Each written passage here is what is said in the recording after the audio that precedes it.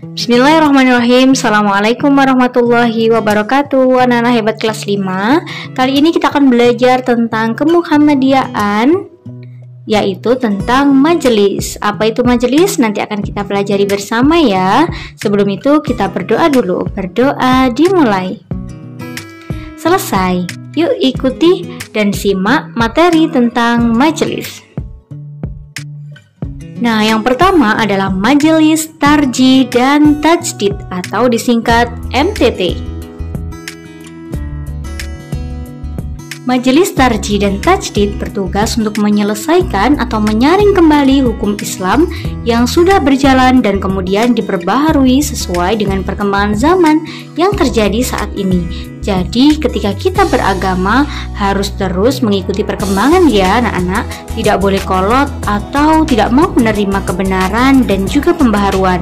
Maka di Muhammadiyah memiliki majelis tarji dan tajdid agar Muhammadiyah terus berkemajuan. Selanjutnya yang kedua yaitu majelis tablik. Anak-anak tahu apa itu majelis tablik? Majelis tablik yaitu majelis atau bagian dari Muhammadiyah yang mempunyai tugas pokok untuk memimpin pelaksanaan dakwah Islamiyah di bidang tablik secara terencana dan jelas meliputi seluruh aspek kegiatan dakwah. Jadi majelis tablik ini bergerak di bidang dakwah anak-anak Anak-anak juga bisa ya nanti ketika sudah dewasa belajar ilmu agama dan kemudian menjadi bagian dari majelis tablik yang ada di Muhammadiyah. Majelis yang ketiga adalah Majelis Pendidikan Dasar dan Menengah atau disingkat Majelis Dikdasmen. Nah, ini salah satu yang menaungi seperti yang menaungi sekolah kita SD Muhammadiyah 2 GKB yang dinaungi oleh Majelis Dikdasmen PCM GKB Gresik. Majelis Pendidikan Dasar dan Menengah memiliki beberapa program. Yang pertama, peningkatan kualitas sumber daya manusia. Yang kedua, meningkatkan sarana dan prasarana sekolah Muhammadiyah. Yang keempat, membangun data dan sistem informasi yang handal, dan yang keempat, menyelenggarakan proses pembelajaran yang berkualitas. Oleh karenanya, SD Berlian School yang merupakan bagian dari Majelis Dikdasmen juga selalu mengupayakan pembelajaran yang berkualitas. Maka dari itu, anak-anak harus terus bersemangat ya ketika belajar karena ustazah senantiasa berusaha menyajikan pendidikan terbaik untuk kalian. Majelis yang keempat adalah Majelis Pendidikan Tinggi atau disingkat Majelis Dikti. Ini yang menaungi atau mengurusi perguruan tinggi-perguruan tinggi yang dimiliki oleh Muhammadiyah. Nah, perguruan tinggi itu yang dimaksud seperti apa Usada? Nah, lembaga-lembaga pendidikan atau pendidikan seperti perguruan tinggi yang menaungi didikti berupa universitas, akademi, sekolah tinggi, institut dan pendidikan tinggi yang dibutuhkan oleh masyarakat dan warga Muhammadiyah. Seperti contohnya di Gresik, kita memiliki Universitas Muhammadiyah Gresik.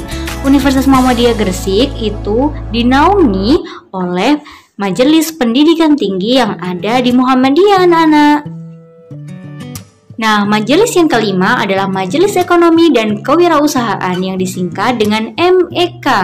Salah satu contohnya adalah anak-anak tahu di GKB di daerah uh, Midakis anak-anak mungkin tahu ya di situ ada gedung Majelis Ekonomi dan Kewirausahaan yaitu Pusat Ekonomi Muhammadiyah.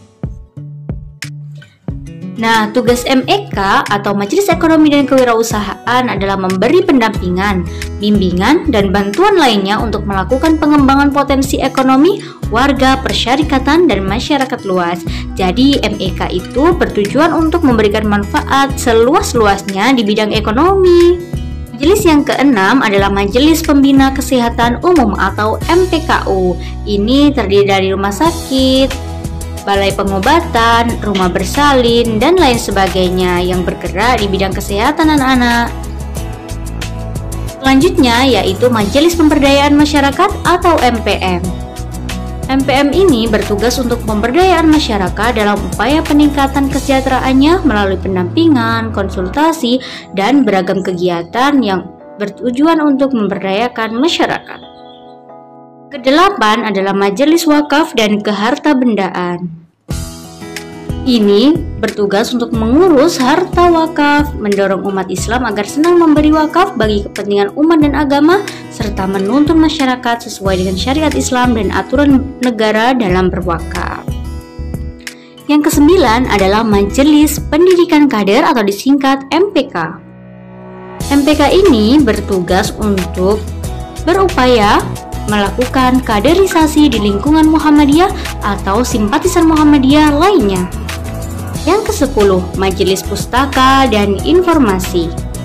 Majelis ini bertugas dalam bidang penerbitan, penyiaran, dan pendokumentasian dan perpustakaan terkait literasi juga ya anak-anak ya.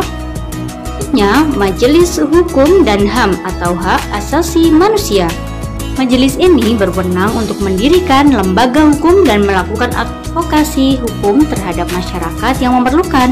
Jadi, bergerak di bidang pembelaan terhadap kesejahteraan masyarakat dan hukum.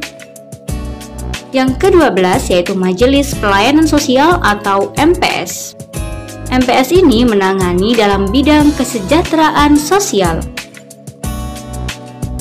Nah, yang ke-13 adalah Majelis Lingkungan Hidup yang bergerak di bidang lingkungan dan penjagaan lingkungan.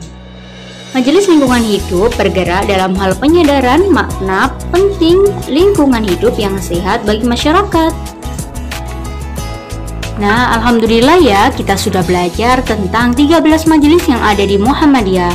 Sebagai referensi, anak-anak dapat membuka kitab halaman 72 dan LKS halaman 24. Nah, sekarang Ustazah ada tugas nih, yaitu tulislah 5 majelis beserta tugasnya di buku tulis kalian, kemudian difoto dan dikirim kepada guru pengajar masing-masing by WA ya. Semangat belajar anak-anak. Cukup sekian dari Ustazah, mari kita tutup dengan hamdalah dan doa kafaratul majelis.